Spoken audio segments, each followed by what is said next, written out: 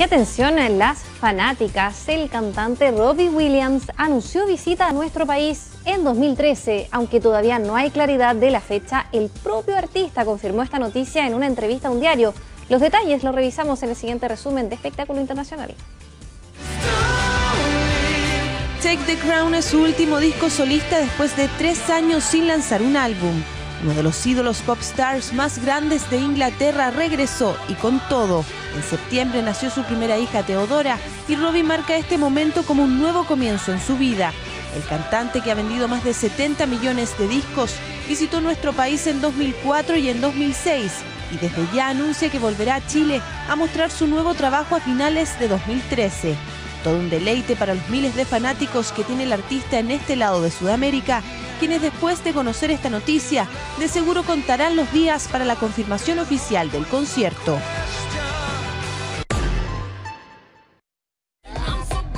En su mejor momento está la cantante estadounidense Beyoncé y para coronar este inmejorable escenario subió una foto a su sitio web donde aparece junto a su pequeña hija Blue Ivy Carter de tan solo nueve meses.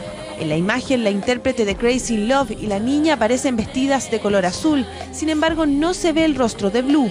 Como medida de protección, la ex integrante de Destiny Child también quiso compartir con sus fans otra fotografía donde aparece su pareja, el rapero Jay-Z, junto a la pequeña. Las imágenes generaron gran alegría entre sus fans.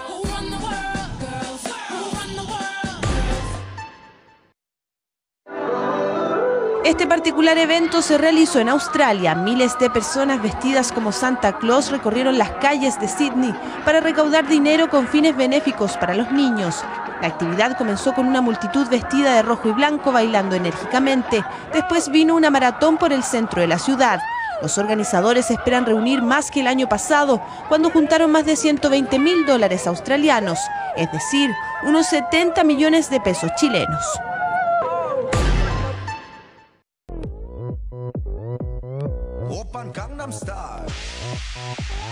Con más de 809 millones de visitas, el video de la canción Gangnam Style se convirtió en el video más visto de la historia de YouTube, dejando en segundo lugar a Baby de Justin Bieber con 803 millones.